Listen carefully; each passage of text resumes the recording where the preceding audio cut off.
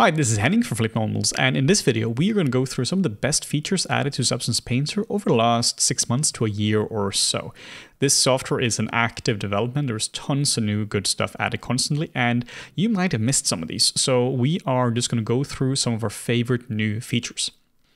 Before we get into that, though, I want to talk to you about our latest course, Advanced Character Creation with Ben Erdt.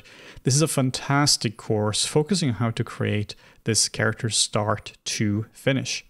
You learn advanced techniques like character sculpting, hard surface armor creation, texture painting, and finally rendering the whole piece, making a really nice portfolio piece. So if you're interested in improving your character art, both organic and hard surface, I highly recommend this course. You're sure to learn a lot from a master like Ben.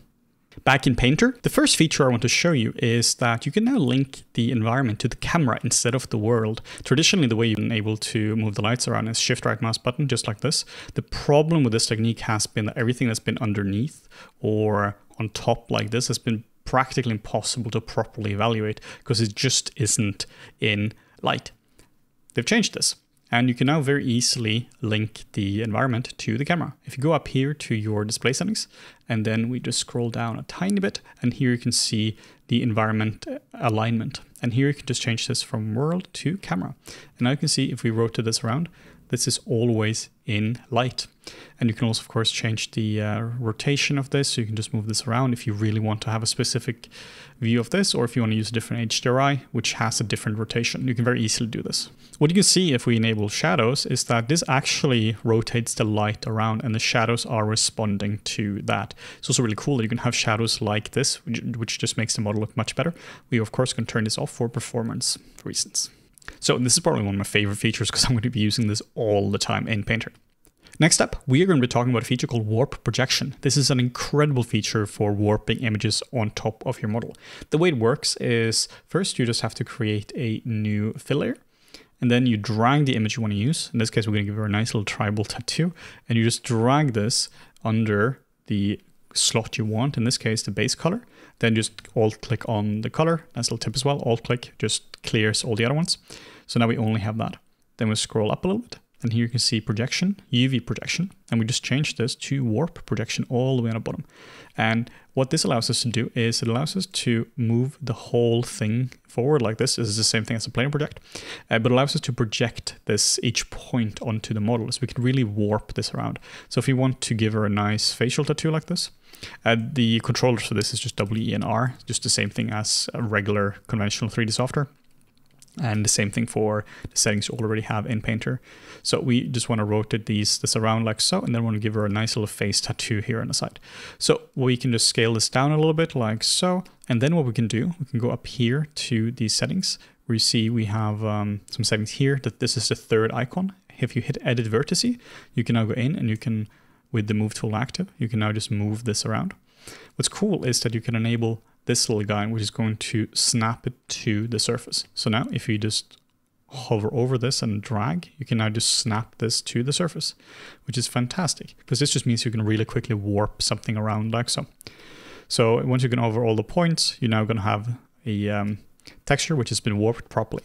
Though you can see that this goes through like so. So there are a few things you can do for this. You can change the projection depth, which is just going to move. You see the uh, uh, the the green lines. You're just going to change the depth of this. But sometimes this isn't possible because um, uh, just because of the geometry you're working with. So in that case, what you can do, you can add more resolution to the uh, the actual plane.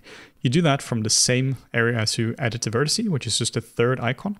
And here you have three options. You have split crosswise, which is going to go uh, horizontal and vertical. Horizontal, which is just going to be flat, and vertical, which is going to go down. So now you can see if we choose vertical, now you can see that we have a line going through here. And then we can just go in and we can just click on these points. And then now we can add more points. Same thing with horizontal as well. Just click here and split horizontal.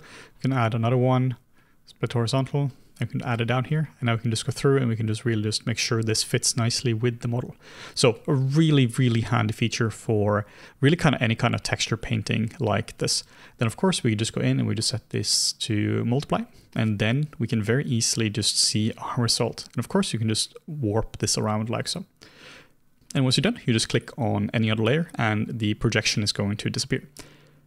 This is actually exactly how we done it for the, um, the height map. You're seeing here all the pores. So if we just go to height, Open this up. And then we'll go to our warp projection.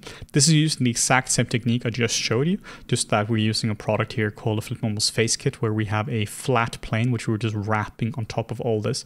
And the cool thing about this is so we can still go into this and we can change it around. So we can go to Edit Vertice, we can just go in here and we can just go in and move this around. It's gonna be a little slow due to computer having a bunch of stuff, stuff to compute now, but it means that you can warp this around very effectively.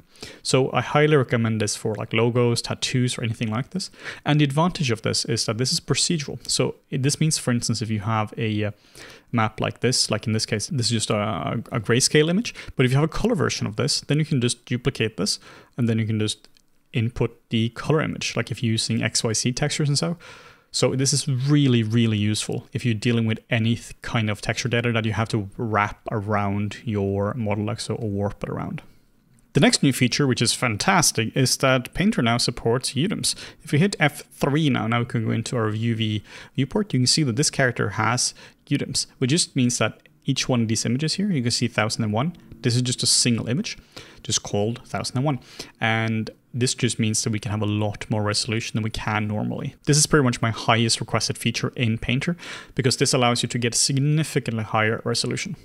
So this is what this looks like when you're unwrapping something in something like Blender. We can just see that this has just been unfolded based on the UDIM workflow as well, where each one of these is just one specific image. So the way you set this up is you just go to File, New, and then you got to make sure, of course, that you have a uh, an FBX or an OBJ that has been unfolded based on the UDIM workflow. Then you go to Select, you just select the file you want, hit Open, and then you don't have to do anything. You just simply just make sure this is ticked. By default, this is going to be ticked. So then we just hit okay. And then yeah, we don't have to save this. And then there we go. Now you can see that this new model now has successfully been imported based on the UDIM workflow. Super easy to use, very powerful. And if you were to export this out now, we're just back in the last scene, Control Shift and E, then you can see that if you go to the uh, the actual template here, you can see that it has a dollar sign UDIM, which just means that the UDIM tag is going to be embedded into the file name. And speaking of exporting, you can now export out as a Substance Archive or SBSAR file, which is fantastic if you want to have these files be more plug and play in other software that supports the Substance Archive folder. So what you can do, you can just go under the um, the global settings, you just change the uh, file type from, in this case, PNG, then go all the way down and here you see SBSAR. And now you can just export this out and you're now going to get Substance Archive files that you can use in other software. They're adding a lot of new things like this, that it's more just workflow friendly, pipeline friendly. It's not a super big, sexy feature. It's just insanely useful. So thank you developers of Painter for adding these features.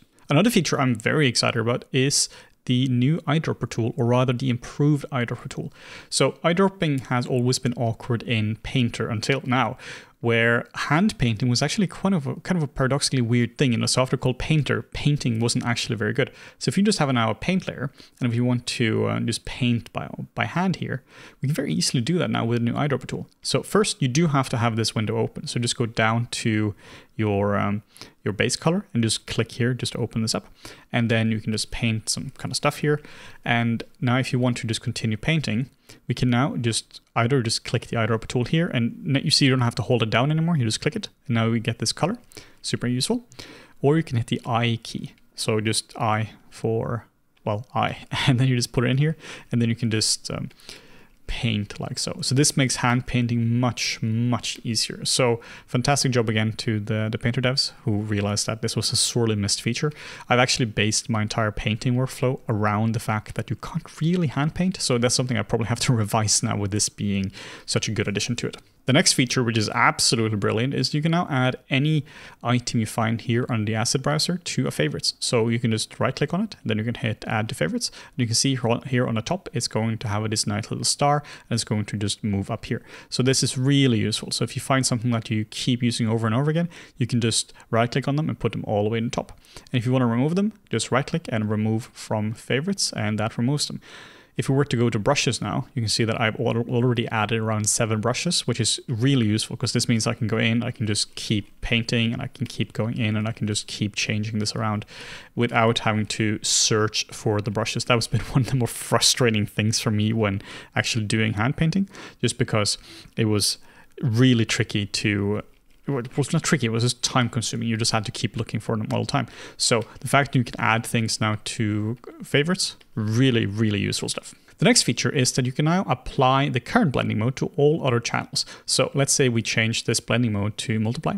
You can now right click on it and then you can apply to all other channels, which means that this layer, if we go over to go to the other channels, this is they're now going to have the same blending mode as the one we just changed. So if you want to change all of them at the same time, right click and then apply to all channels. This also works with opacity, which is really useful because we can now just change the opacity of this. And then you see now, if you go to roughness, for instance, this is not changed. But if you go to base color now, right click on the opacity, apply to all channels, you can now see that this has indeed changed in all the channels. Just one of those really useful workflow tips. Next up, you can now quickly re-import a mesh, which you can do by going to edit and then re-import mesh. This is going to just keep re-importing the same mesh. So let's say you're texturing the model and somebody else is modeling it. So they might be working on it in ZBrush or in uh, Maya Blender, whatever it is. And they, they will just gonna keep re-exporting the same FBX and replacing the old one. You can now just hit Control Shift and R or go up here to re-import mesh. And now this is just going to be re-imported really qu quickly. This makes iterating much faster instead of having to go in and having to go into project configuration and going in here and changing this up. Next up, there are three new bake types. If you go under texture set settings, mesh maps and bake mesh maps, you can see that we have three new mesh maps. One is uh, height, then we have bent normals, and then we have opacity. So if you want to bake any one of these, you just enable them right here. We are, of course, not going through what these actually are because that's a whole new topic, but at least you can bake height, bent normals, and opacity. Another last feature we're going to be covering is going to be temporal anti-aliasing. A really annoying feature in Painter is that you see the viewport is really jagged around all the edges. It's just jagged, and that's just a general issue. See the same thing here in the eyes. But TAA, or temporal anti-aliasing, is going to fix that. If we go all the way up here to the display settings, and then we scroll down just a little bit, and here we have activate temporal anti-aliasing. So click this, you can see that everything just gets smoother. This is, uh, you may not even be able to see this in the video. I'm not sure if we can even zoom out in to see it. I'm not sure if that's how it works. Uh, but at least you can see that this should make it quite a lot more appealing in the viewport. So I recommend just keeping this active. And this shouldn't really impact performance, so it might take some time for this to activate on heavy scenes. So that's it for the most useful features added recently in Substance Painter. These features are really making a difference in my day-to-day -day workflow, and I think they're going to improve your workflow quite a lot too.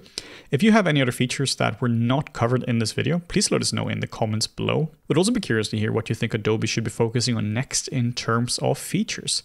So yeah, that's it for this video. If you enjoyed this video, make sure to leave a comment, like the video, and hit the little notification bell to get a notification every single time we put out a new video.